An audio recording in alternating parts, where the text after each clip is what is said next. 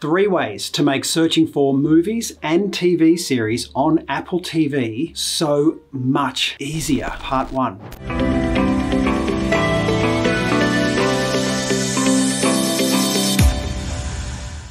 There are so many movies on Apple TV as well as TV series to binge, but there are many apps you can watch them on and they all have huge libraries. Would you rather spend your time searching or watching? Follow me. Of the three ways to search on Apple TV, this is my first choice. It's a universal search, allowing you to efficiently search across multiple apps at once, rather than individually. You can also use your voice, so you don't have to type manually using the remote control. These features are for Apple TV 4 or newer. Apple TV 4 was released in late 2015, and you may have a remote control that looks like this or this. The universal search, which allows you to search through multiple apps at once, works with most apps that primarily have movie and TV show libraries. Examples of this are Apple TV Plus, the movie and TV show libraries from iTunes, as well as catch-up TV services and the popular subscription apps like Netflix, Stan, Prime Video, and so on. An example of some apps that don't work with universal search are YouTube or dedicated sports apps. But as far as searching for movies or TV shows,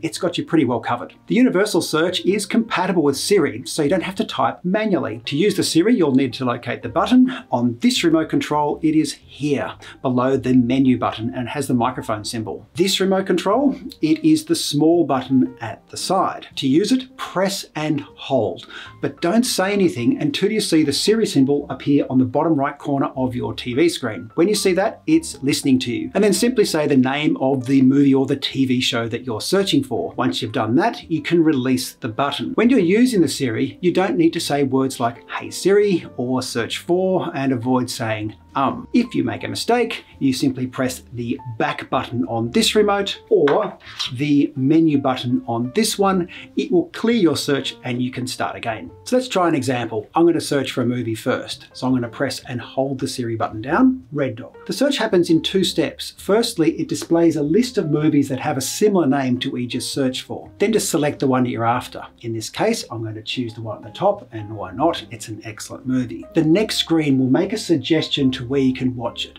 But I ignore this suggestion. Instead, move down to where it says how to watch. Here, it will display all apps the Universal Search found this particular movie. In this case, we can rent or buy it from Apple for a few dollars, or it's available on some of the subscription services. In this case, I'm a member of Stan, so I select Stan, the movie opens up ready to play. It's that easy. Let's try another example, but this time a TV series. So again, I will press the Siri button to make my request, Line of Duty.